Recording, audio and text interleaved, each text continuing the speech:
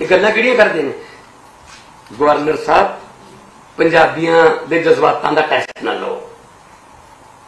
ਆਜ਼ਾਦੀ ਅਸੀਂ ਲੈ ਕੇ ਦਈਏ ਦੇਸ਼ ਨੂੰ। ਆਜ਼ਾਦੀ ਨੂੰ ਸੰਭਾਲਣ ਲਈ ਅਸੀਂ ਸੀਨੇ ਤਾਣ ਕੇ ਖੜੀਏ ਦੇਸ਼ ਦਾ ਢਿੱਡ ਭਰਨ ਲਈ ਅਸੀਂ ਆਪਣੀ ਧਰਤੀ ਨੂੰ ਵੀ ਦਾਅ ਤੇ ਲਾ ਦਈਏ, ਉਪਜਾਊ ਸ਼ਕਤੀ ਨੂੰ ਤੇ ਪਾਣੀ ਨੂੰ, ਤਾਂ ਕਿ ਦੇਸ਼ ਦਾ ਢਿੱਡ ਭਰ ਸਕੇ। ਦੇਸ਼ ਨੂੰ ਅੰਨ ਦੇ ਮਾਮਲੇ 'ਚ ਅਸੀਂ ਆਤਮ ਨਿਰਭਰ ਬਣਾ ਦਈਏ। ਤੇ ਤੁਸੀਂ ਸਾਨੂੰ ਮਹੀਨੇ, ਦੋ ਮਹੀਨੇ ਬਾਅਦ ਚਿੱਠੀ ਕਰ ਦਿੰਦੇ ਹੋ ਥੋੜੇ ਦੇ ਰਾਸ਼ਟਰਪਤੀ ਰਾਜ ਲਾ ਦਾਂਗੇ। ਥੋੜੀ ਸਰਕਾਰ ਤੋੜ ਦਾਂਗੇ। ਸਭ ਤੋਂ ਵੱਧ ਪੀੜਤ ਨਾ 356 ਦਾ, ਪੰਜਾਬ ਹੈ ਜੀ। ਸੋ ਇਸ ਕਰਕੇ ਤੁਸੀਂ ਸਾਡੇ ਜ਼ਖਮਾਂ ਤੇ ਨਮਕ ਨਾ ਛਿੜਕੋ। ਮੈਂ ਮਾਨਯੋਗ ਗਵਰਨਰ ਸਾਹਿਬ ਨੂੰ ਕਹਿਣਾ ਚਾਹੁੰਦਾ, ਤੁਸੀਂ ਸਿੱਧੀ ਧਮਕੀ ਦੇ ਰਹੇ ਹੋ ਪੰਜਾਬ ਦੇ ਡੈਮੋਕ੍ਰੈਟਿਕ ਲੋਕਾਂ ਨੂੰ ਕਿ ਤੁਹਾਡੀ ਸਰਕਾਰ ਨੂੰ ਅਸੀਂ ਕੀ ਸਮਝਦੇ ਹਾਂ? ਅਸੀਂ ਤਾਂ ਜੇ ਮੇਰੀਆਂ ਚਿੱਠੀਆਂ ਦੇ ਜਵਾਬ ਨਾ ਦਿੱਤੇ ਸਰਕਾਰ ਟੁੱਟ ਜੂਗੀ ਮਤਲਬ ਆ ਕਾਰਨ ਹੈ ਜੀ। ਇਹ ਕਾਰਨ ਹੋ ਸਕਦਾ ਉਹ ਸੂਬਾ ਜਿਹੜਾ ਦੇਸ਼, ਜਿਹੜਾ ਫੂਟਬਾਲ ਹੈ, ਜਿਹੜਾ ਆਜ਼ਾਦੀ ਲੈਣ 'ਚ ਸਭ ਤੋਂ ਵੱਧ ਕੁਰਬਾਨੀਆਂ ਦੇਣ ਵਾਲਾ ਹੈ, ਜਿਹੜਾ ਆਜ਼ਾਦੀ ਤੋਂ ਬਾਅਦ ਵੀ ਸੀਨਾ ਤਾਣ ਕੇ ਖੜਾ ਬਾਰਡਰਾਂ ਤੇ। ਸੋ ਸਾਡਾ ਜਿਹੜਾ, ਸਾਡੀ ਜਿਹੜੀ ਸਟੇਟਸ ਤਾਂ ਡਬਲ ਟ੍ਰਿਪਲ ਲੜਾਈ ਲੜ ਰਿਹਾ ਜੀ। ਬਾਰਡਰ ਸਟੇਟ ਹੈ। ਉਹ ਉਹਨਾਂ ਨਾਲ ਦੁਸ਼ਮਣ ਨਾਲ ਵੀ ਲੜਾਈ ਸਾਡਾ, ਸਾਡੇ ਸਾਡੇ ਨਾਲ ਲੱਗਦੇ ਨੇ ਉਹਨਾਂ ਦੇ ਬਾਰਡਰ ਉਥੋਂ ਡਰੋਨ ਆਉਂਦੇ ਨੇ, ਉਥੋਂ ਡਰੋਨਾਂ 'ਚ ਪਿਸਤੌਲ ਵੀ ਆਉਣ ਲੱਗੇ ਹੁਣ ਤਾਂ ਤੇ ਮਤਲਬ ਅਸੀਂ ਉਹ ਡਬਲ ਲੜਾਈ ਲੜ ਰਹੇ ਦੇਸ਼ ਦੀ। ਅਸੀਂ ਦੇਸ਼ ਦੀ ਲੜਾਈ ਲੜ ਰਹੇ ਹਾਂ। ਜੇ ਇੱਥੋਂ ਕਿਤੇ ਉਹ ਲੰਘ ਨਾ, ਜੇ ਦੀਨਾਨਗਰ ਆਏ ਸੀ ਜਾਂ ਪਠਾਨਕੋਟ ਆਏ ਸੀ, ਅਸੀਂ ਉੱਥੇ ਕਾਬੂ ਕਰ ਲਏ। ਜੇ ਉਹ ਇੱਥੋਂ ਇੱਕ ਵਾਰੀ ਅੱਗੇ- ਅੱਗੇ ਫਿਰ ਉਹ ਹਮਲਾ ਕਿਤੇ ਕਰਨਗੇ? ਦੇਸ਼ ਤੇ ਕਰਨਗੇ। ਸੋ ਇਸ ਤਾਂ ਦੇਸ਼ ਕੌਮ ਦੇ ਰਾਖੇ ਆ ਤੇ ਤੁਸੀਂ ਸਾਨੂੰ ਧਮਕੀਆਂ ਦਿੰਦੇ ਹੋ ਕਿ ਤੁਹਾਡੇ ਤੇ ਰਾਸ਼ਟਰਪਤੀ ਰਾਜ ਲਾ ਦਾਂਗੇ। ਇਹ ਕਿੱਥੋਂ ਆਉਂਦੀ ਹੈ ਤੁਹਾਨੂੰ ਹੁਕਮ ਫਿਰ ਇਹ? ਉਹੀ ਗੱਲ ਹੋ ਗਈ। ਫਿਰ ਆਮ ਬੰਦਿਆਂ ਨੂੰ ਇਹ ਨਹੀਂ ਚਾਹੁੰਦੇ ਹੋਣੇ ਸ਼ਾਇਦ ਵੀ ਇਹ ਕਿੱਥੋਂ ਆ ਗਏ। ਜਿਹੜੇ ਆਮ ਆਮ ਲੋਕ ਚੁਣ ਕੇ ਆ ਗਏ।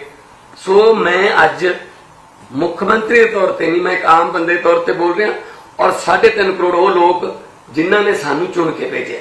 ਮੈਂ ਉਹਨਾਂ ਦੇ ਜਜ਼ਬਾਤਾਂ ਦੀ ਪ੍ਰਤੀਨਿਧਤਾ ਕਰਦਾ ਮੈਂ ਕਿ ਗਵਰਨਰ ਸਾਹਿਬ, ਤੁਸੀਂ ਪੰਜਾਬੀਆਂ ਦੇ ਜਜ਼ਬਾਤਾਂ ਦਾ, ਪੰਜਾਬੀਆਂ ਦੇ ਸਬਰ ਦਾ ਇਮਤਿਹਾਨ ਨਾ ਲਓ।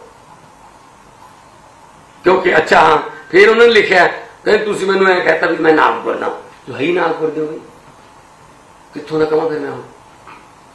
ਇਹ ਲਿਖਿਆ ਉਹਨਾਂ ਨੇ ਲੈਟਰ ਦੇ ਵਿੱਚ ਪੜਿਆ ਹੋਣਾ। ਇਹ ਚ ਕੀ ਕਹਿਣ ਦਾ ਹਰਜ ਜੀ ਨਾਗਪੁਰ ਤੋਂ?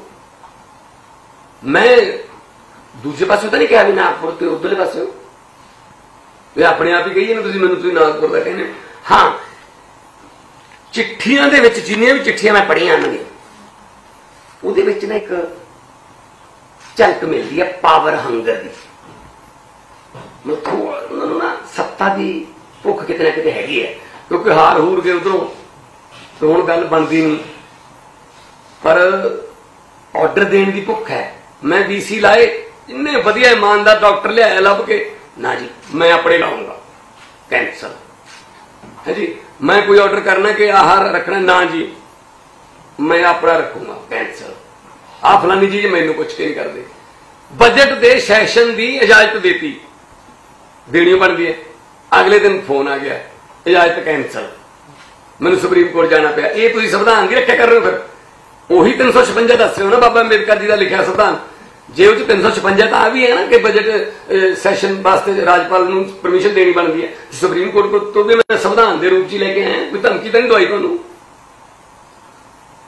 ਸੋ ਪਾਵਰ ਹੰਗਰ ਜਿਹੜੀ ਹੈ ਨਾ ਉਹ ਝਲਕਦੀ ਹੈ ਕਿਤੇ ਨਾ ਕਿਤੇ, ਮੈਂ ਇਹਨਾਂ ਨੂੰ ਇੱਕ, ਮੈਂ ਤਾਂ ਛੋਟਾ ਬਹੁਤ, ਮੇਰੇ ਤਾਂ ਵੱਡੇ ਨੇ।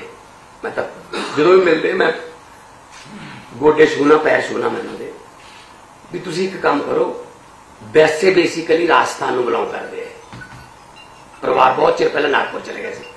ਲਓ ਹੁਣ ਤੁਸੀਂ ਨਾਗਪੁਰ ਦੇ ਨਾਲ ਨਾ ਮੈਂ ਇੱਕ ਹੋਰ ਐਡ ਕਰ ਦੇਣਾ। ਰਾਜਸਥਾਨ ਚ ਆ ਰਹੀ ਹੈ ਇਲੈਕਸ਼ਨ ਨਵੰਬਰ 'ਚ। ਤੁਸੀਂ ਮੁੱਖ ਮੰਤਰੀ ਦਾ ਚਿਹਰਾ ਬਣ ਕੇ ਬੀਜੇਪੀ ਵੱਲੋਂ ਪਾਵਰ ਲੈ ਲਓ। ਇਹ ਕਿਹੜੀ ਗੱਲ ਆ? ਤੁਹਾਨੂੰ ਆਰਡਰ ਦੇਣ ਲੱਗ ਜਾਓਗੇ ਤੁਸੀਂ? ਸੋ ਮੈਂ ਮੈਂ ਤਾਂ ਤੁਹਾਨੂੰ ਇਹ ਦੱਸ ਰਿਹਾ ਮੈਂ ਕੀ ਪਤਾ ਕਈ ਵਾਰੀ ਛੋਟਿਆਂ ਦੀਆਂ ਗੱਲਾਂ 'ਚ ਵੀ ਕੁਝ ਨਾ ਕੁਝ ਨਿਕਲਿਆ ਹੁੰਦਾ। ਹੈ ਐਵੇਂ ਚਿੱਠੀਆਂ ਲਿਖ ਲਿਖ ਕੇ ਮਤਲਬ ਮੈਨੂੰ ਆਰਡਰ ਦੇਣੇ ਨੇ ਮੈਂ ਜਵਾਬ ਦੇਵਾਂਗਾ ਸਾਰੀਆਂ ਚਿੱਠੀਆਂ ਦੇ। ਪਰ ਇਹ ਜਿਹੜੀਆਂ ਪਾਵਰ ਹੰਗਰ ਵਾਲੀਆਂ ਚਿੱਠੀਆਂ ਨੇ ਕਿਰਪਾ ਕਰਕੇ ਉਹਦੇ ਵਾਸਤੇ ਤਾਂ ਫਿਰ ਤੁਹਾਨੂੰ ਅਹ, ਰਾਜਸਥਾਨ ਦੇ ਹੈਗੇ ਤੁਸੀਂ ਬੇਸਿਕਲੀ ਤਾਂ ਫਿਰ ਉੱਥੋਂ ਇਲੈਕਸ਼ਨ ਲੜ ਕੇ ਤੇ ਮੁੱਖ ਮੰਤਰੀ ਦਾ ਚਿਹਰਾ ਬਣ ਕੇ ਤੇ ਪਾਵਰ ਲੈ ਲਓ। ਦੇਸ਼ ਨੂੰ ਲੋੜ ਹੈ ਤਜਰਬੇਕਾਰ। ਸਿਆਸਤਦਾਨਾਂ ਦੀ ਬਹੁਤ ਲੋੜ ਹੈ। ਤਾਂ ਨਾਲੇ ਪਤਾ ਲੱਗ ਜੂਗਾ ਕਿ ਪਬਲਿਕ ਲੋਕ ਜਿਹੜੇ ਨੇ ਉਹ ਡੈਮੋਕ੍ਰੇਸੀ ਜਿਹੜੀ ਹੈ, ਉਹ ਕਿਹਨੂੰ ਪਿਆਰ ਕਰਦੇ ਸੀ